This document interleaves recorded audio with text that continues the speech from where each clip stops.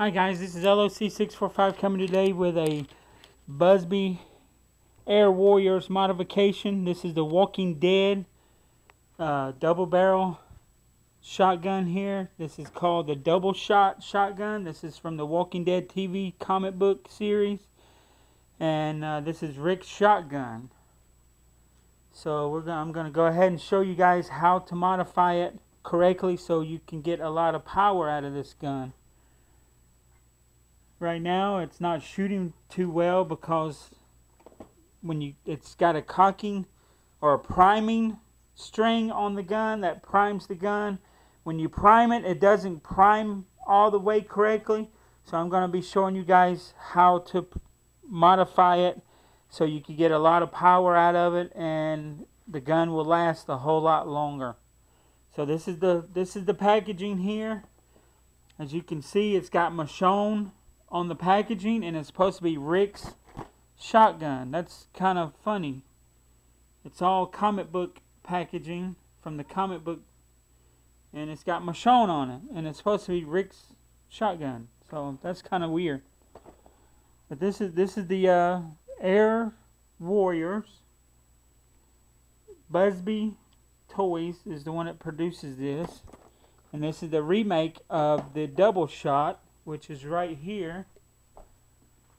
This is the, the original double shot. I've already modified these. I've already taken these apart and and put bigger springs in them and and I'm going to be showing you guys what I did. I, I did the same thing I did to this, I'm going to be doing to this. And uh, these are different different Buzz Bee double barrels. This is the over and under custom made. I got this on YouTube uh, on uh, eBay right now for sale. If you guys want to buy this one, go to eBay and you could bid on it, or you could buy it straight out.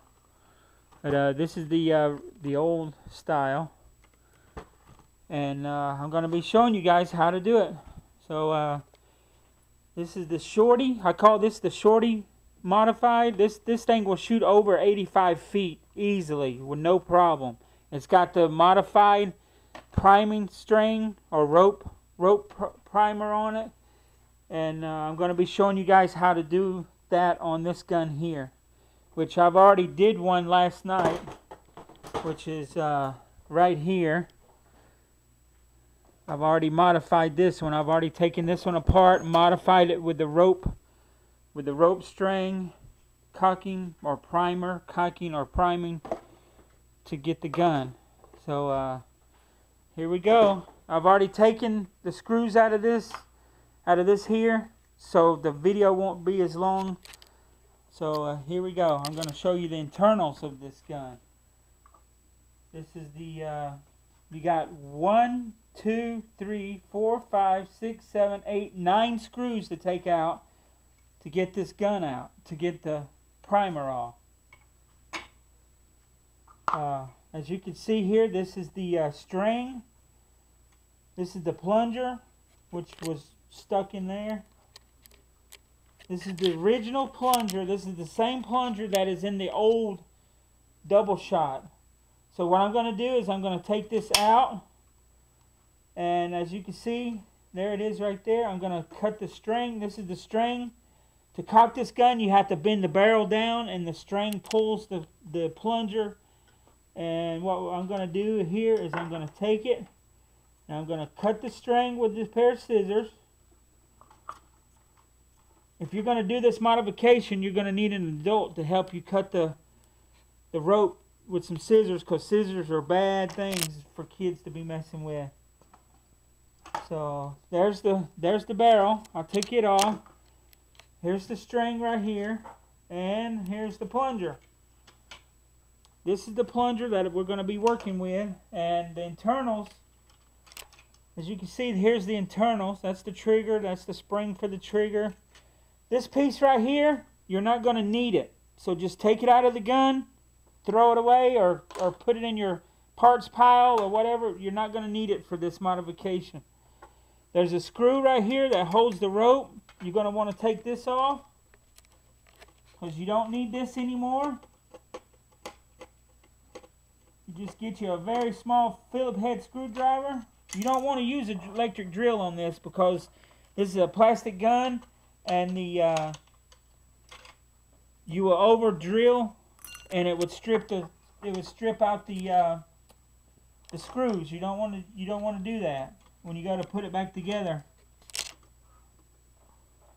So you can see this is the old ring. This is the O-ring for the uh, for the plunger here. As you can see here, this plunger they put O-rings on it to to block the air from escaping when it comes out of the plunger. So what I'm going to show you guys how to modify this so you would get more air out of your gun. So what I'm going to do here is uh, I'm going to take a drill, get it, like I said, get an adult to help you do this. Uh, take a drill, you're going to want to drill this out right here.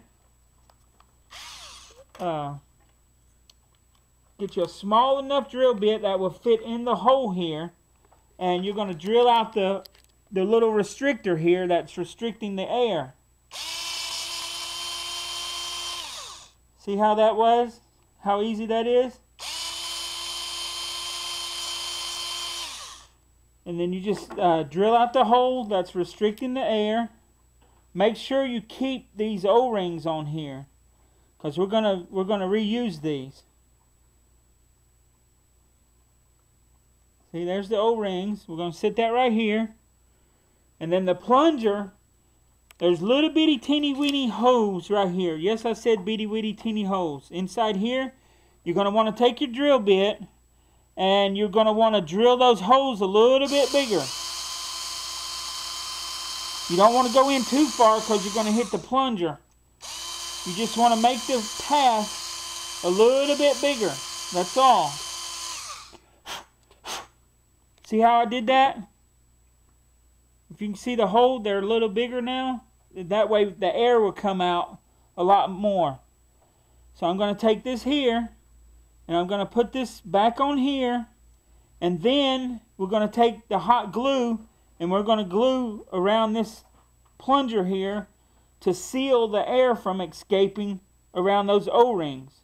So if you follow me over over to the hot glue gun, we're going to show you guys how to hot glue this. This is your standard high temperature hot glue. You, you need to get an adult to help you do this because uh, this is very hot and it could burn you.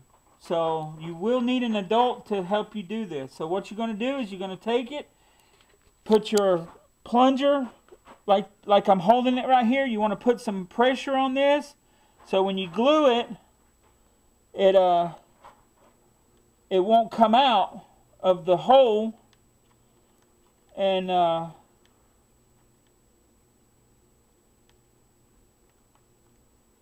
just be real careful because if it comes out of the hole you're going to get glue inside your plunger and it's not going to work correctly okay there you go see how I did that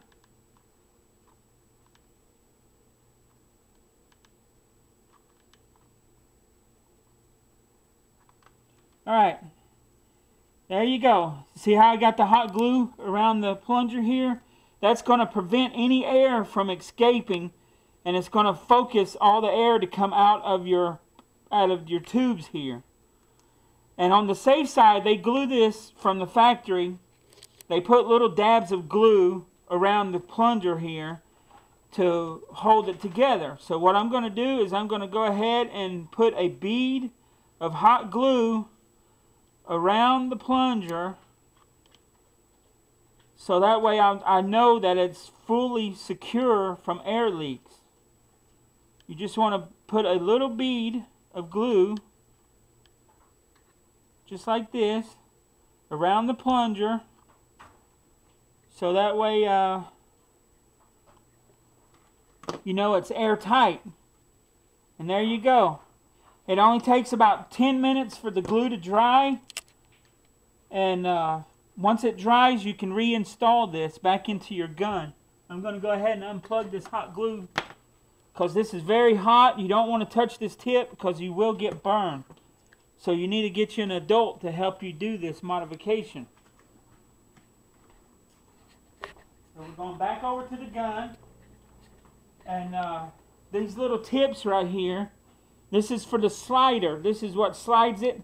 These little tips right here will come off, so you need to be careful with these tips because once they come off and you lose them, you're not going to be able to prime your gun back correctly. It's going to be all wiggly and waggly and it's not going to work correctly. So you want to make sure that these little rolling pins, is what I call them, or spacers, are, are still attached when you go to put the gun back together. So before I put the gun back together, I'm going to take my drill bit. I'm going to get a little bit larger drill bit here. And I'm going to drill a hole on the plunger side of the gun, which is right here. And I'm going to drill a hole right here so the string or the rope can actually go through the gun. You want to make sure it's nice and smooth because if you leave any sharp edges on it, it will cut the rope. And then you have to take it all back apart and get you another rope and see you want to make sure it's all nice and clean when we go to put it back together. This is the spring here that goes on the on the lever that primes the gun. You want to put that back on here just like so. And it goes just like this right here. It wraps around the plunge, around the the cocking pin here. And it goes right there on the pin itself, just like that. So that's how it works, just like that right there. And uh, you're going to want to take your once once this is dried, this is pretty dry right now. Once it's dry, you can go ahead and put it back in. But first, I'm going to have to show you guys on this right here. You're going to have to take your snips and you're going to have to snip it right here in an angle because of the plunger will not slide in there because of the glue. Let me get my snip, snips real quick and I'll show you guys how to do it.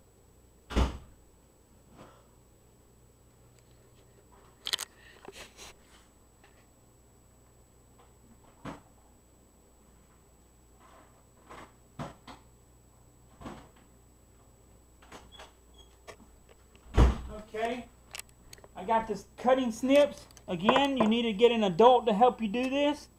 You're going to want to take this here, put it right in the middle of the of the prong and clip it. Just like that. You want to do both sides. Once they're clipped, see how they are? That way the uh, glue that you've glued that you've glued onto your plunger will be able to countersink the, the plunger back in. So uh, I'm going to go ahead and put this back together.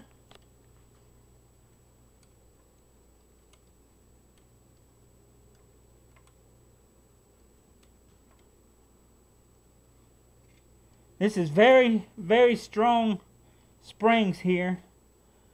So we're going to slide this back in here. As you can see right here, where it goes into the plunger. And you want to make sure that the rolling pins or the spacer, I call it a spacer or rolling pin, this actually rolls when you pull it back. It fits in a groove there. And uh, as you can look down in there, it fits in a little sliding groove. And uh, when it slides back, it catches the groove and everything's good. So I got that in there. We got the spring in there for the trigger. See the spring? Now we're going to put the trigger back in.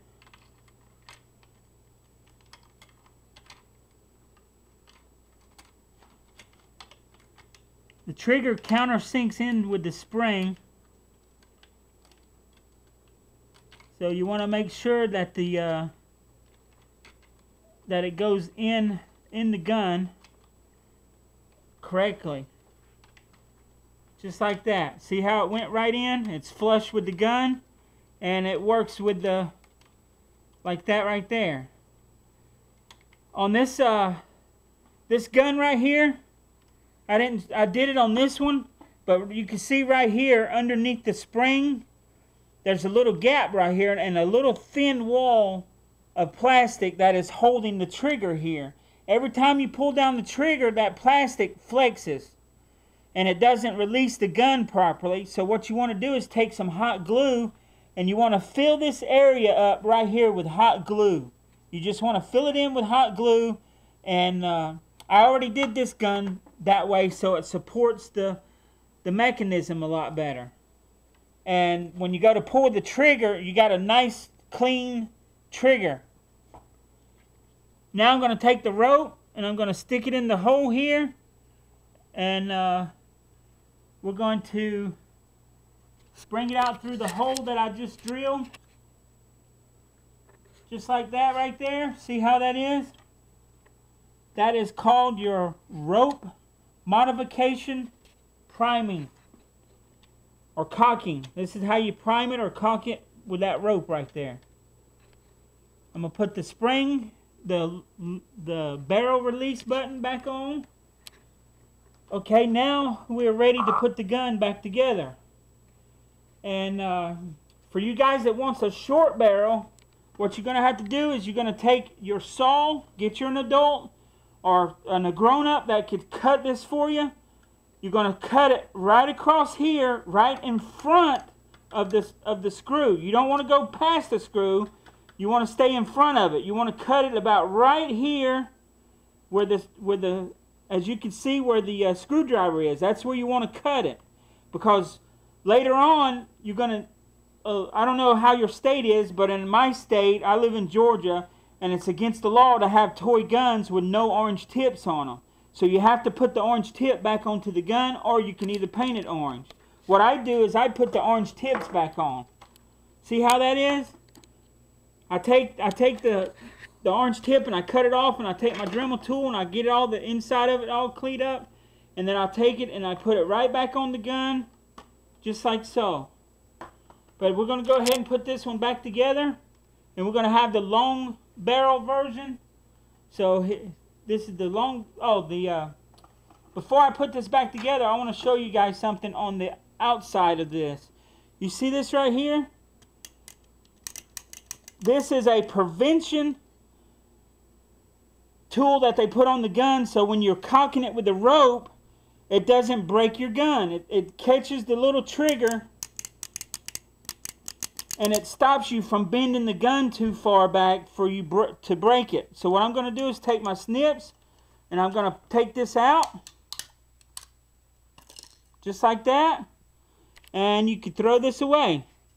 You will not need that. That is only for the uh, the barrel here. See this little clip?